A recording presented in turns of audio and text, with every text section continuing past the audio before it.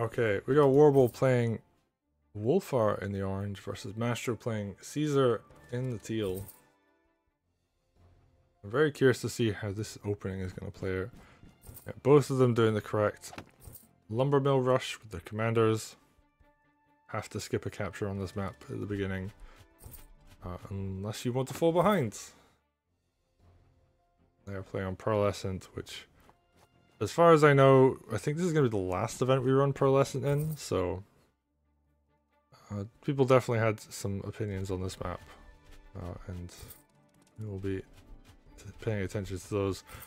And maybe this map will be, uh, or maybe this match, I should say, will be an example of uh, that coming into fruition. But for now, we're seeing Wulfar versus Caesar, and I think Wulfar's a strong pick on this map. You got a bit of uh, flagstone to play around with. You got some like early aggression. The unit count is like relatively low compared to something like Harmonious, where you have like five production facilities as opposed to here where you only really have three.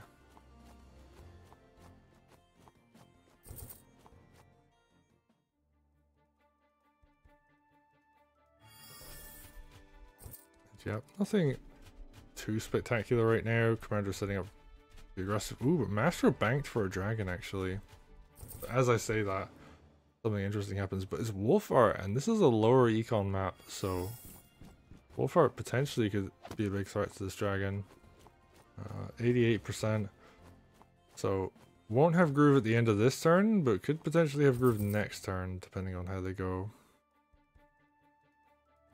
And what's Mastro gonna do? They're gonna respond, knock down this village. They're gonna go and do this with their commander as opposed to with the sword. A bit a little bit extra groove because of that, but Caesar's still a ways off. And they're also facing down a dragon. Now they do have a wagon to back this up, which means they're going to be able to position that mage more aggressively. Can Warble actually get a free turn? Oh yeah, they can get a free hit on this village. Is you know very nice for them. Dragon actually goes up to the mid position. They're not going to threaten Wulfar directly, but just going to kind of space him out. Okay, and now Wulfar has Groove. Mage's going to move into that center position. And Witch getting built as well, actually. It makes a lot of sense. They are very good against dragons, but... Oh, dragon finds an opening.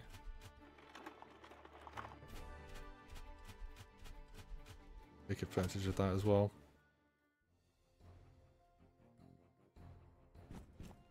Okay, Wulfar, let's go.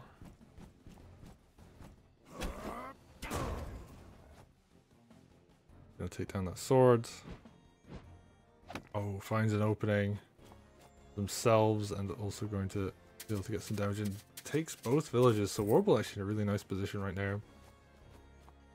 And Mastro just not close to having Groove. Okay. This dragon needs to do something. Okay, it's gonna knock down the village. Flip it back. Caesar just walks straight up in front of the opponent's dragon, which is in position. And, ooh, when your opponent has a witch and you have a witch, it becomes very annoying. Because all of a sudden, like, you can't one-shot the dragon anymore. And if they park, like, their own witch next to it, they hit your witch. That's a very unpleasant position. Ooh, we got tier 2 coming in. Alright, where's this going? Spear. Goes for the witch. Oh, that makes sense. Now the dragon can come in and do some, some big damage. And, oh, Warble's in a really nice position now. This is extremely dangerous for Mastro, who doesn't have Groove. I don't know if they can even build it this turn. We're going to find out. Okay, witch is just to fly over to the left hex. There's a second dragon coming out now. Okay, but we're seeing a lot of openings here. Sword goes down. Caesar gets Groove. Oh, but doesn't use it.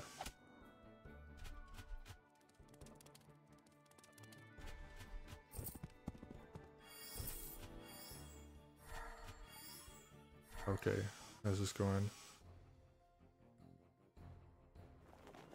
Very aggressive position there for Caesar.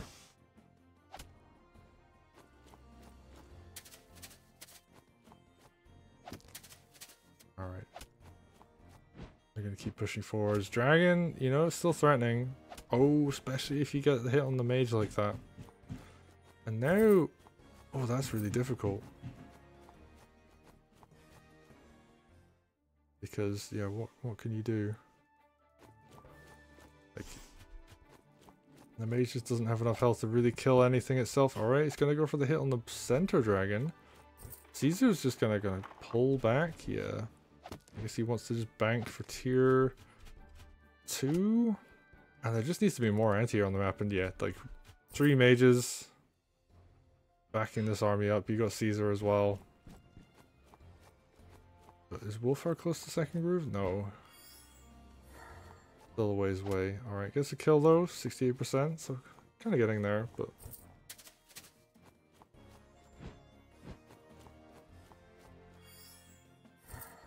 Morgul does have an econ advantage right now. One extra village up here. And yeah, Mastro isn't going to be able to put any pressure on the bottom right for a while.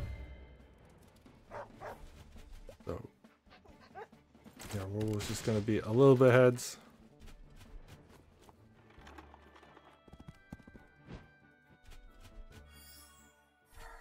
Really, like, what does Mastro have to fight with right now? One dragon, bunch of mages, like a knight. And you look at Warble's army, double dragon, double witch. Wulfar slowly building up another groove. And Caesar, oh, he's so far away from tier 2. I know people like to consider Caesar definitely a lot stronger in general. but Wulfar, on a map where Wulfar can force fights and can force commander versus uh, army, and kind of get into the thick of things and where there isn't enough stuff to kill him if he goes in for a groove. He really does shine. Yeah, just a huge defense there on the on the stronghold. Army swings down to the bottom right. And Warble kind of forced to oh, I like that move with the dog. Yeah, just gonna block. And now both players have Golem kind of bigger, chunkier unit comes out. I like this. Nice horizontal line formed for defense. Extremely difficult to break something like this. The only way is if you have like a really heavy hitting unit one-shot stuff. Oh, but Mastro, he's doing a good job on the sides, but the timer... The timer is becoming really punishing at this point. 23 minutes left on the clock for Mastro.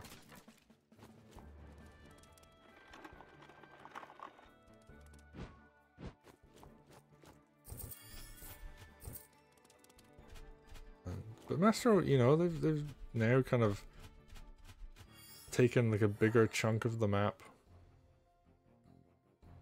But only just. Okay, Hex comes in, second Hex is to come in. Alright, is Warble just to push? They are.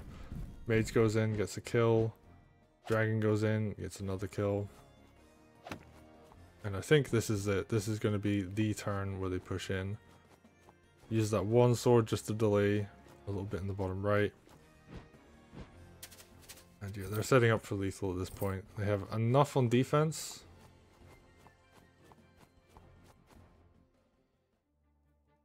But... Yeah, can't Mastro defend. All of Mastro's army is in the wrong place. Caesar just doesn't have tier 2 yet. Like, the game just hasn't allowed for that to happen.